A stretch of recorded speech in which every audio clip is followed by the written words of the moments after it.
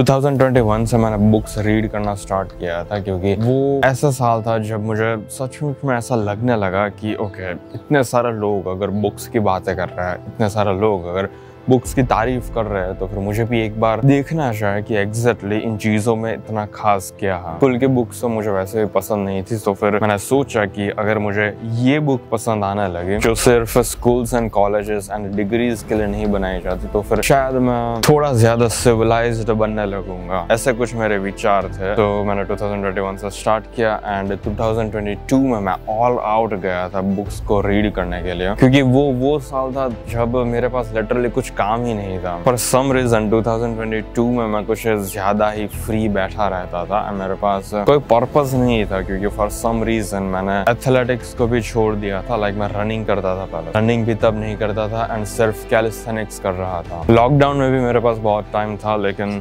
Lockdown में तो मैं पूरे दिन टीवी सीरीज़ देखने के लिए अपना टाइम स्पेंड कर रहा था एंड मेरे पास कुछ खास टाइम बचता नहीं था बुक्स को रीड करने के लिए। ऑफ़ कोर्स मुझे पता है कि मुझे इतनी सारी टीवी सीरीज़ नहीं देखनी चाहिए थी लॉकडाउन में, लेकिन कोई बात नहीं। इस बुक का नाम है the way of the superior man आप कह सकते हो कि ये मेरी one of the most favourite book है। मैं ऐसा नहीं बोलने वाला कि ये मेरी फेवरेट बुक है, क्योंकि अगर आपने बुक्स को रीड किया होगा तो फिर आपको पता होगा कि आप एग्जैक्टली ऐसा बोल नहीं सकते कि ये मेरी फेवरेट बुक है। एंड इससे अच्छी कोई बुक नहीं है पूरी दुनिया में, क्योंकि हर बुक्स में अलग अलग टॉपिक्स कवर करते हैं ऑथर तो फिर डिसाइड करना बहुत मुश्किल हो जाता है कि एग्जैक्टली कौन सा टॉपिक सुपीरियर है दूसरे टॉपिक्स के कंपैरिजन में। लेकिन हम ये कह सकते हैं कि ये जो जानरा है, जिसके अंदर बताया जाता है कि मैस्कुलर एंड फेमिनिन का एग्जैक्टली मीनिंग क्या है तो फिर उस पूरे जानरा में मैं ऐसा बोल सकता हूँ कि the way of the superior man सबसे बेस्ट बुक है। ये बुक मेरी फेवरेट इसलिए है क्योंकि जनरली आपको ऐसा कोई इंसान दिखेगा नहीं रियल लाइफ में कि वो मैस्कुलिनिटी एंड फेमिनिटी के बारे में बोले वो डिफरेंसेस के बारे में बोले. एंड इस बुक के अंदर डिफरेंसेस बहुत अच्छी तरीके से लेआउट किए हैं. जब भी मैं डिफरेंसेस की बात करता हूँ फॉर सम रीज़न हर बार मुझे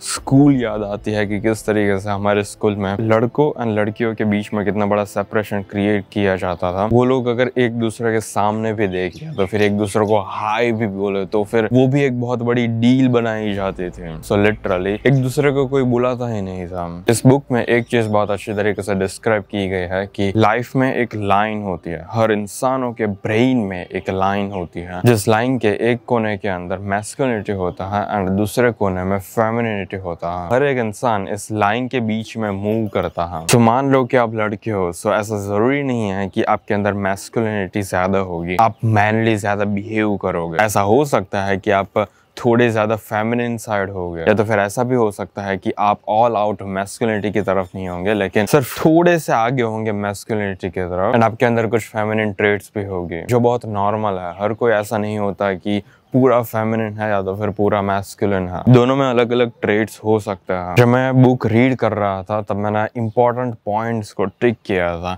इंपॉर्टेंट पॉइंट्स मतलब कुछ लाइंस नहीं है। चैप्टर के अंदर इन्होंने सब पॉइंट्स क्रिएट किया है एंड उन्हीं सब पॉइंट्स को मैंने टिक किया था, जिसमें से पहला है never change your mind just to please a woman और ऐसा बोलना चाह रहा है कि हमें कभी भी अपना ब्रेन अपने डिसीज़न को चेंज नहीं करना चाहे जस्ट बिकॉज़ एक लड़की ऐसा बोल रही है कि तुझे ऐसा नहीं करना चाहिए तुझे इस तरीके से ये चीज़ परफॉर्म करनी चाहिए। अब अगर हम गुड बॉयज़ की बात करें, मुझे नहीं पता था कि इस टर्म को मैं यूज़ करूँगा, लेकिन फिर भी ये टर्म बहुत परफेक्टली इम्प्लीमेंट हो सकता है इस सिनारियों में। अगर हम गुड बॉयज़ की बात करें तो फिर वो लोग गुड बॉयज़ इसलिए होता है क्योंकि गुड बॉयज़ अपने डिसीज़न इस तरीके से फॉर्म करते हैं कि अगर वो कुछ ठान ले कि मुझे ये चीज़ करनी है, लेकिन उनकी जो अगर गर्लफ्रेंड होगी या तो फिर उनकी फीमेल फ्रेंड होगी। वो अगर कुछ और चीज़ें बोलेगी तो फिर वो लड़का बहुत आसानी से मान लेगा कि ओके बिकॉज़ इस लड़की ने मुझे ये चीज़ करने को बोली है तो फिर मोस्ट प्रोबेबली ये जो बोल रही है, वो सही होगा। लेकिन ऐसा नहीं होता। इस पूरी चीज़ के पीछे मेन रीजन ये है कि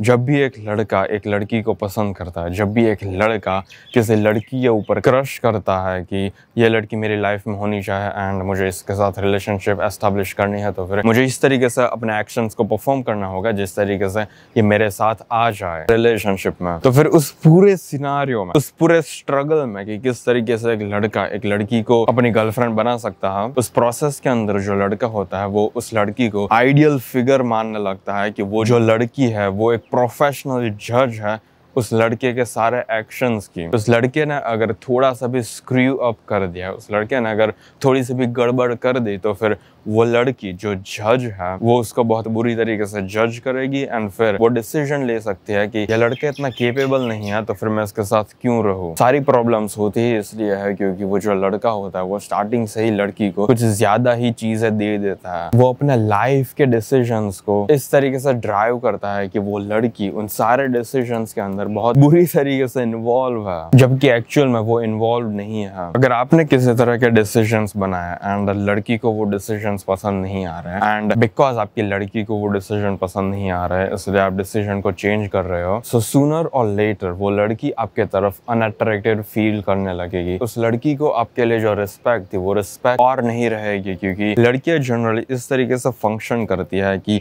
वो चाहती है आपके साथ अगर वो रिलेशनशिप में आए तो फिर ज़्यादातर डिसीज़न आपको ही लेने हैं। एंड ये परफेक्टली नेचुरल है, जो फेमिनिन होता है, उसको जनरल डिसीज़न एंड रिस्पॉन्सिबिलिटी लेने में कुछ खास इंटरेस्ट नहीं होता। जबकि जो भी मैस्कुलिन होता है वो विलिंगली ऐसा चाहता है कि मैं जितनी, हो सके उतनी ज़्यादा रिस्पॉन्सिबिलिटीज लूँ। वो चाहता है कि वो उस लड़की की ज़्यादा अच्छी तरीके से ध्यान रखे। एंड जो भी हार्ड डिसीज़न बनाने होता है, वो उस लड़की के लिए, वो खुद बनाए। एंड अगर इन सारी चीज़ों को देख कर अगर हम उस एक गुड बॉय की बात करें, जो हमेशा, जो भी उसकी फीमेल फ्रेंड्स बोलती है, उसी तरीके से परफॉर्म करता है। एंड अगर वो उस लड़के के डिसीज़न को रिजेक्ट करे तो फिर वो लड़का कभी भी उन डिसीज़न को परफॉर्म नहीं करता, क्योंकि उसे ऐसा लगने लगता है कि वो सारी चीज़ गलत है। इसलिए मुझे ये चीज़ बहुत अच्छी लगी कि ऑथर ने जिस तरीके से इस पूरी चीज़ को प्रिसाइसली डिस्क्राइब किया है कि एग्जैक्टली क्यों हमें लड़कियों को डिसीज़न नहीं बनाने चाहिए। एंड क्यों हमने जो भी डिसीज़न लिए होते हैं, उन डिसीज़न में लड़कियों को इन्वॉल्व नहीं करना चाहिए एंड उनके ओपिनियंस कुछ खास मैटर नहीं करते क्योंकि वो रैशनल डिसीज़न नहीं ले पाते। एंड वो रैशनल डिसीज़न क्यों नहीं ले पाते? एंड ये मेजोरिटी ऑफ़ द लड़कियों की मैं बात कर रहा हूँ। कुछ ऐसी लड़कियाँ होती है जो रैशनल डिसीज़न ले पाती है लेकिन मेजोरिटी ऑफ़ द लड़कियाँ नहीं ले पाती। उसके पीछे का मेन रीजन ये है कि लड़कियाँ प्योरली प्रेजेंट के इमोशंस को देखकर अपने गोल्स सेट करती है। अगर वो प्रेजेंट में सैड फील कर रही होगी तो फिर उसके जो भी एक्शंस होंगे, वो इसी तरीके से डिराइव्ड होंगे, जिस तरीके से एक सैड इंसान के होते हैं। अब मैं ऐसा नहीं बोल रहा हूँ कि लड़के ऐसा नहीं करता, लड़के भी ऐसा करते हैं। एंड वो फालतू के लड़के होते हैं, वो नालायक होते हैं, इसलिए वो इस सारी चीज़ों को करते हैं। जबकि लड़कियाँ जब इन सारी चीज़ों को करती है तो फिर वो हमें रीजनेबल लगता है क्योंकि वो लड़की है सो वो ऐसा कर सकती है। लेकिन जब लड़के ऐसा करता है तो फिर उसके लिए हम सारे रिस्पेक्ट भूल जाते हैं। क्योंकि हमें ऑटोमेटिकली पता लगने लगता है कि वो सोसाइटी में किसी भी तरह की वैल्यू प्रोवाइड नहीं कर पाएगा। अगर आपको रैशनल डिसीज़न क्रिएट करना है तो फिर आपको अपने पास्ट के डेटा को एनालाइज करना पड़ता है ताकि आप देख पाओ कि क्या ये जो इंसान है इसने पास्ट में बहुत बड़ी बड़ी चीज़ें अकम्पलिश की है। जब मुझे मदद चाहे थी तब ये मेरे साथ था। जब मुझे पाँच हज़ार रुपए चाहे थे तब उसने मुझे पाँच हज़ार रुपए दिए थे। सो अगर फ्यूचर में कुछ भी बुरी चीज़ हुई तो फिर मैं इसके साथ रहूँगा हमेशा। ये एक रैशनल डिसीज़न है फिर चाहे हमारे बीच में फाइट भी क्यों ना हो जाए, हमारे ब्रेन में हमेशा ये चीज़ रहती है कि पास्ट में उसने मेरी कुछ ज़्यादा ही मदद की थी। सो अब ये मेरी रिस्पॉन्सिबिलिटी बनती है कि जब भी मुझे टाइम मिले तो फिर मुझे उसको पे बैक करना चाहिए, क्योंकि ये मेरी रिस्पॉन्सिबिलिटी बनती है। जब आप किसी लड़की के साथ रिलेशनशिप में होते हो तो फिर अगर आपने कोई छोटी सी भी मिस्टेक कर दी होगी, या तो फिर आपको भी नहीं पता होगा कि आपने एग्जैक्टली क्या किया है, जिसकी वजह से उसका मूड ऑफ़ है। तो फिर आप उसको कन्विंस नहीं कर सकते अपने पास के रिकॉर्ड्स की मदद से कि, ये देख, ये तुम्हारा जब बर्थडे था 2019 में, तब मैंने तेरे लिए इतनी सारी चीज़ें की थी। अभी सिर्फ़ दो महीने गए हैं और मुझे पता भी नहीं है कि तू एग्जैक्टली मेरे पास से क्यों नाराज़ है। मैंने क्या मिस्टेक की है, ये मुझे नहीं पता, लेकिन फिर भी तू नाराज़ है। तो मैं ये तुझे पूछ रहा हूँ कि एक्जैक्टली तू नाराज़ क्यों है? हम लड़कियों को पूछ भी नहीं सकते कि वो लोग नाराज़ क्यों है। लड़कियाँ ऐसा चाहती है कि हमें खुद पता चल जाए कि वो नाराज़ क्यों है। ये सुनने में बहुत ही कॉमन है। अपने इंस्टाग्राम पर ये बहुत बार देखा होगा कि किस तरीके से लड़कियाँ ये चाहती नहीं है कि हम उसको पूछे कि उसका मूड क्यों ऑफ़ है, जबकि हमें भी नहीं पता एंड उसको भी नहीं पता कि उसका मूड क्यों ऑफ़ है। इन कंपेरिजन टू जब हम लड़कों की बात करें तो फिर उसका अगर मूड ऑफ़ होगा, उसको अगर ऐसा लग रहा होगा कि वो अपनी लाइफ में कुछ खास ग्रो नहीं कर रहा तो फिर वो उसके डेटाज को, वो उसके डेज़ को, वो उसके पास्ट के एक्शंस को एनालाइज करेगा कि ओके हम्म मेरा जो बॉस है वो कुछ खास अच्छा नहीं है। एक तो मुझे सैलरी कुछ खास मिलती नहीं है। ऊपर से उसे ऐसा लगता है कि वो मुझे इतनी हद तक डिसरिस्पेक्ट करेगा तो फिर वो चलेगा। मैं कल उसके ऑफ़िस में जाऊँगा एंड उनको बोलूँगा कि मेरे साथ अगर आप इस तरीके से बात करोगे तो फिर मुझे नहीं लगता कि मैं इस जॉब में रहूँगा एंड आपको मेरी सैलरी भी बढ़ानी चाहिए क्योंकि ये है मेरे पास के डेटाज मैंने इस कंपनी के लिए कई सारी चीज़ें की है सो मैं ऐसा चाहता हूँ कि आप मेरी सैलरी भी इंक्रीज करो। ये सारी नॉर्मल चीज़ें हैं। इन सारी चीज़ों को हम रैशनलाइजिंग बोलते हैं